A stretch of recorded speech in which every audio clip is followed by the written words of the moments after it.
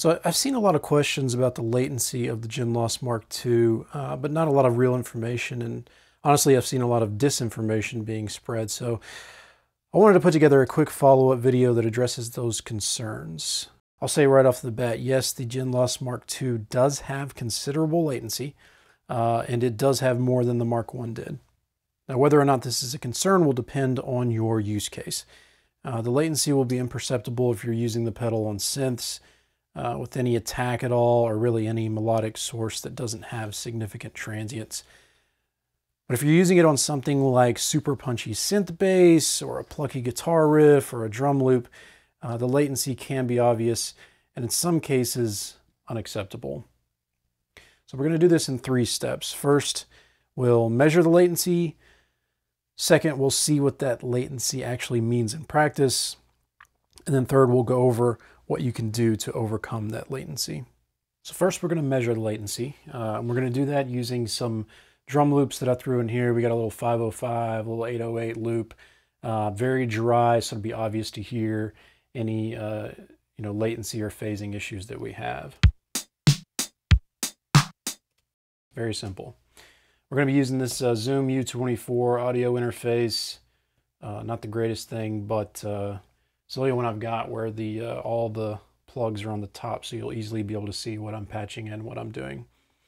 We're also going to be using a plugin in the DAW called Pipeline. Put it here. And basically this lets me route uh, audio in and out of the DAW as an insert.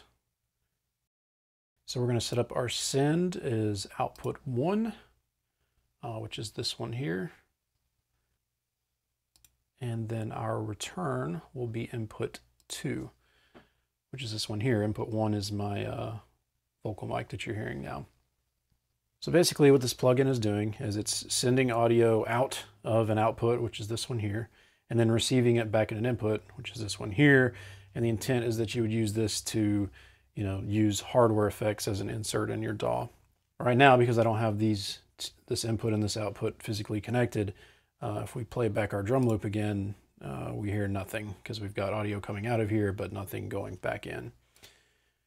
One of the key things about this plugin is that it allows you to compensate for uh, the latency that's introduced uh, anytime you're going in and out of an audio interface and introducing uh, components in the, in the physical world. So that latency compensation tool is going to allow us to take some measurements and understand what our latency actually is with this pedal. The first thing we need to do is get a baseline. Uh, the interface itself will actually have some latency in it. So we need to understand what that is so that we can subtract it from our numbers later to get the true latency number of the generation loss. So now that I've patched my output to my input uh, as assigned in this plugin, I can run uh, the auto test and you can see it's it's aligned uh, the audio. So the blue line is my uh, return signal, the orange line is my send signal, and you can see that it has uh, aligned them so that they're in phase. So now that we've got that alignment, we can see that the uh, kind of baseline interface uh, latency is 27.54 milliseconds. That's our current round trip latency, so we'll need to remember that uh, for later so we can subtract it to understand what our true generation loss latency is. So now that we've got that, we're going to change our routing again.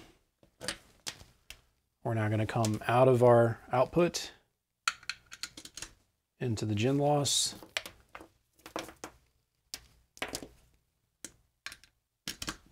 Out of the gen loss.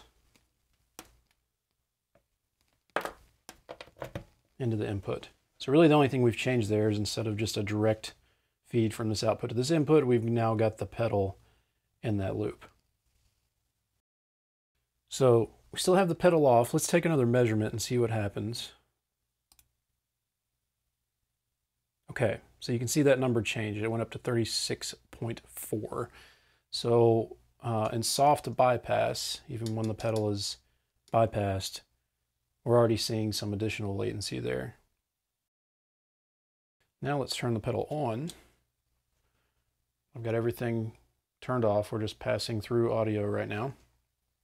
We'll take another measurement And we can see there our numbers changed again. And we have even more latency. So remembering that our interface latency was 27.54, um, our latency of just the pedal is approximately 25 milliseconds. The latency of the dry signal, again, take out the 27 or so milliseconds of the interface, and we're looking at about 9 milliseconds for the dry signal. So not only do we have a total uh, latency of 25 milliseconds, we also have 16 milliseconds difference between the wet and the dry signal. So you'll have to decide for yourself if 25 milliseconds is uh, an acceptable amount of latency for the instrument that you play or the sound that you're processing.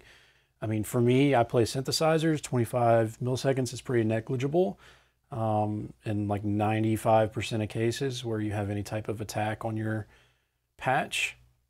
And honestly, I think this pedal is marketed more towards oh, you know, your synthesizer players, those types of sounds, uh, dirtying up that stuff more than just like a straight up guitar pedal. I mean, if you look at the, the demos that they have um, for the pedal, it's typically not being used as like a, a, a normal guitar pedal. It's, it's more for the synth type, uh, synth wave, lo-fi kind of stuff. So um, I think in that capacity, 25 milliseconds is negligible. Uh, but for the people who want to use it for um, stuff that has more transients, that, that might not work out for them. But you know, it's it's it's person by person on whether or not uh, 25 milliseconds is acceptable. The real crime, I think, is the difference between the wet and the dry signal, uh, about 16 milliseconds between them.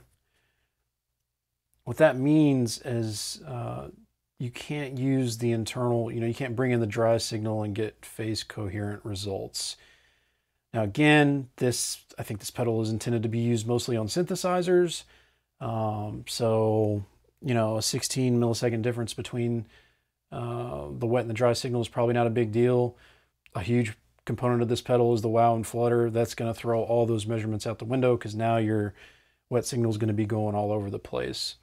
So again, I, I, think those are the things that Chase Bliss was thinking about when they made this pedal for what this pedal does and what it's used on and the fact that it's doing pitch modulation anyway. I mean, honestly, who cares if there's a little bit of difference in latency between the wet and the dry signal, but that does hurt it significantly when it comes to drum processing.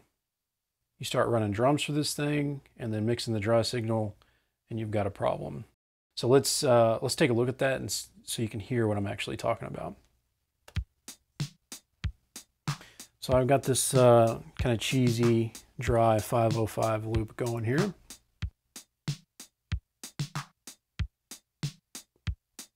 And right now we're, um, you see our mix is 100% on the pipeline plugin. So we're hearing just the pedal. And right now our dry signal is completely off. So this is just the signal going through the pedal, no really processing going on. Uh, so this is the effect that we've got. I'm gonna turn this up so you can hear it a little bit better. But listen what happens when I bring in uh, the dry signal and run the dry signal in parallel.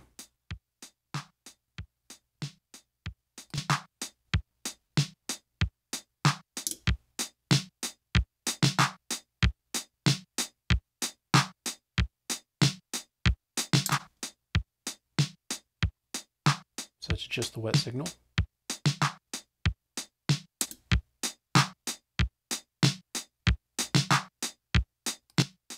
So I think you can obviously hear there, um, there's some latency going on. Uh, listen to the uh, transient on the kick drum. Uh, there's an obvious doubling, phasing, flamming, whatever you want to call it.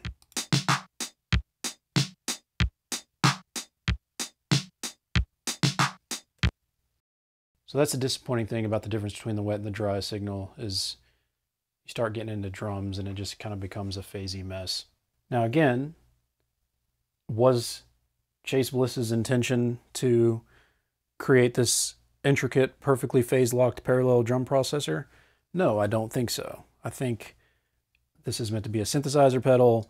As it exists, I think the dry switch is meant to you know, bring in some high end to help the sound cut through the mix a little bit uh, after you make the wet signal kind of destroyed and mushy. It's just meant to bring in um, a little bit of the high end to help your sound cut. I mean, the whole point of this pedal is it's supposed to make things sound bad, not be a uh, perfectly in phase drum processor. So we're kind of working outside of the realm of what the intent of the pedal is here, uh, but we're going to go ahead and cover it nonetheless. So we've already established because of the difference in the wet and dry signal, um, using the pedal on its own as a drum processor is kind of out the window. But let's talk about what you can do to fix that problem. basically, the answer is this plugin that we've already been looking at.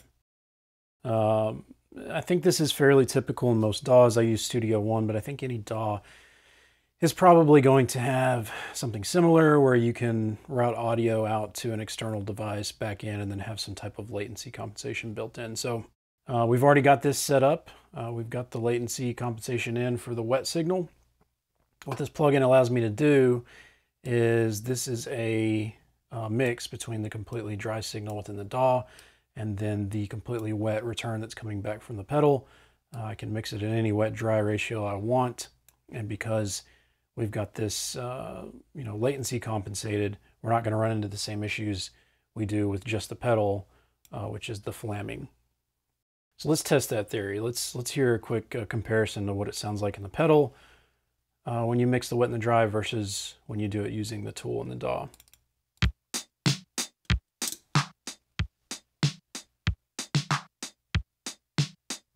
So completely wet. and then with the dry.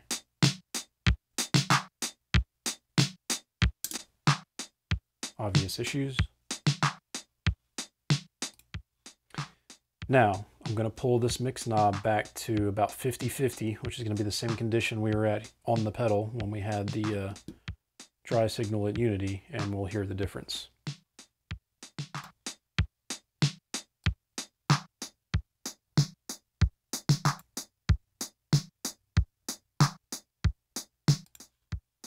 Now there is a tonal shift because uh, audio passing through the pedal doesn't come out completely clean. It's doing some lo-fi stuff before you even touch any of the knobs. Uh, so we are hearing a tonal shift. But when you listen to the transients and the phase of the drums, um, you can clearly hear that this is a major improvement over just using the pedal by itself. So I'll swap back and forth between them a couple times so you can hear that again.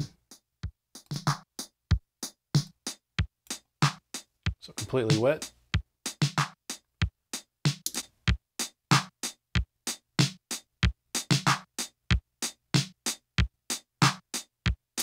Obvious latency. And now doing the same thing in the DAW.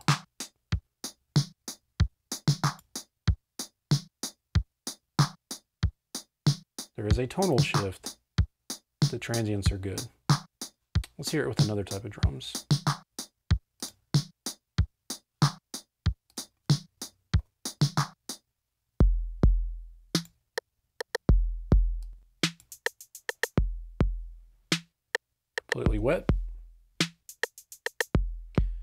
Bringing in the dry with the pedal.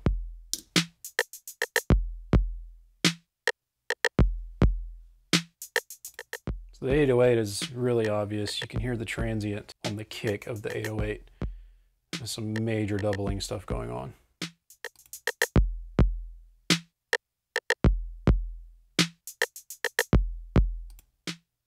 No bueno. So we're going to pull the dry signal back out from the pedal and do the same thing again and see if it sounds any different.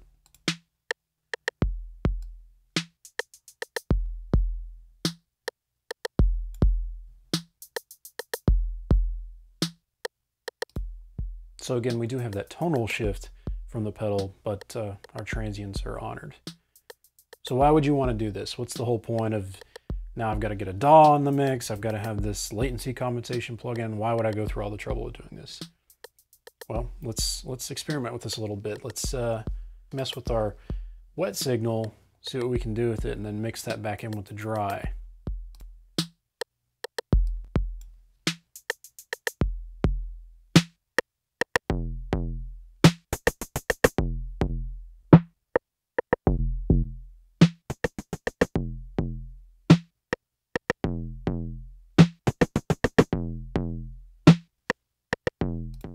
Right, so I like that tone and distortion there. If I try to bring in the dry signal on the pedal,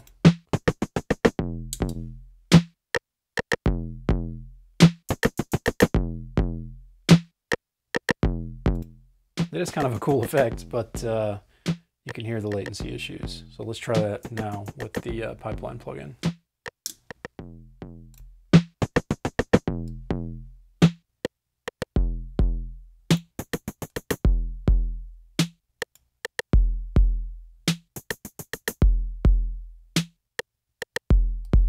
Completely dry.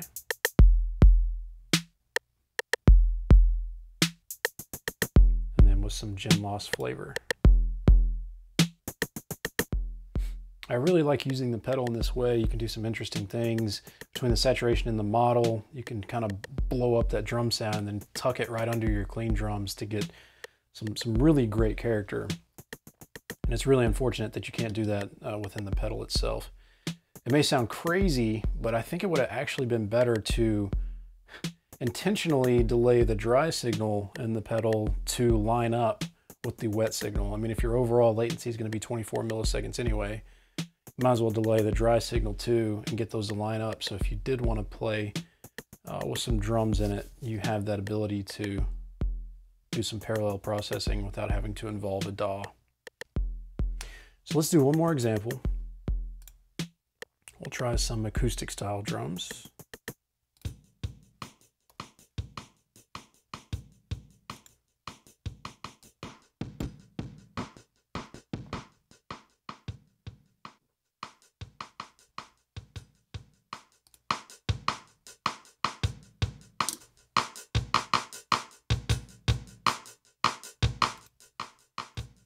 obvious flaming. All right, let's let's blow these up a little bit.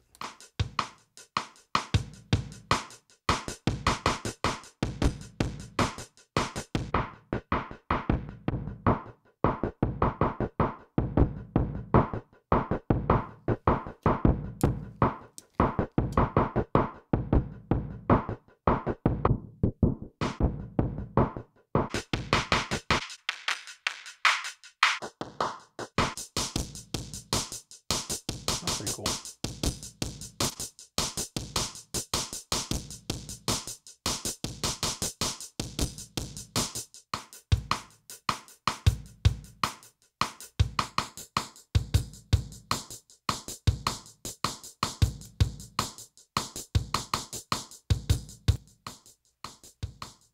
So again, just tucking in that, that blown out wet signal.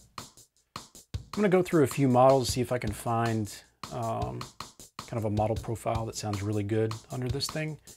And then maybe just slam it with some compression and see what kind of cool sounds we can get by doing this parallel processing.